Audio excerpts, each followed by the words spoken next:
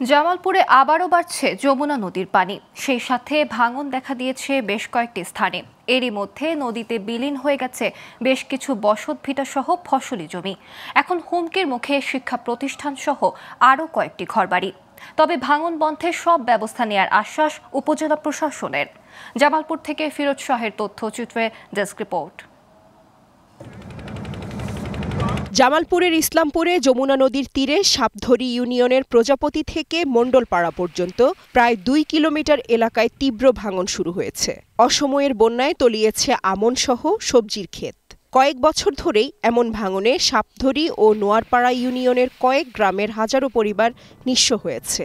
এবার ভাঙছে প্রজাপতি চরশিশুয়া ও মণ্ডলপাড়ার বসতবাড়ি ও ফসলি জমি। আর হুমকিতে আছে মসজিদ মাদ্রাসা সহ আশেপাশের কয়েকটি শিক্ষা প্রতিষ্ঠান। তাই ভাঙন ঠেকাতে স্থায়ী বাঁধ নির্মাণের দাবি স্থানীয়দের। নদী বাড়ি ঘর ভেঙে নিয়ে আনেছে কোনো খান্তি ঠাই নাই। আল্লাহ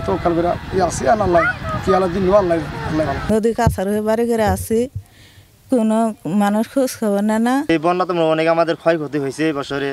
পরে সাত আটশো বাড়ি ঘর আমাদের নষ্ট হয়ে গেছে। অনেক বাড়ি ঘর নদীর ভিতরেও গেছে গা। সরকার যে দয়া ধর্ম করে এই নদীতে যে বাদ দিয়ে দেয় তাহলে আমরা থাকার একটু আশ্রয় পাই। এরই মধ্যে ভাঙন কবলিত এলাকা পরিদর্শন করেছেন প্রশাসনের কর্মকর্তারা। আশ্বাস দিয়েছেন দ্রুত ভাঙন বন্ধের ব্যবস্থা নেয়ার। ভাঙন কবলিত জনগণ যারা রয়েছে তাদের তালিকাভুক্তি করছি। তালিকাভুক্তির ক্ষেত্রে যে সকল জনগণের ঘরবাড়ি পুরোটাই নদীতে চলে গিয়েছে এবং নদীতে চলে যাওয়ার পরে তারা যদি ভূমিহীন হয়ে থাকে, তাহলে আমরা ঊর্ধ্বতন কর্তৃপক্ষের সাথে কথা বলে তাদেরকে আশ্রয় বা গৃহের ব্যবস্থা করে দিব। পাশাপাশি নদী ভাঙন যেন রোধ করা যায়, এজন্য আমরা পানি উন্নয়ন বোর্ডকে পত্র প্রেরণ করব। তারা যেন দ্রুত সেখানে একটি প্রোটেকশনের ব্যবস্থা করে। ইসলামপুরের যমুনা নদীর ভাঙন প্রতিরোধে শিগগির পদক্ষেপ নেবে সংশ্লিষ্ট কর্তৃপক্ষ। এমনটাই প্রত্যাশা এলাকাবাসীর। Global Television News Desk.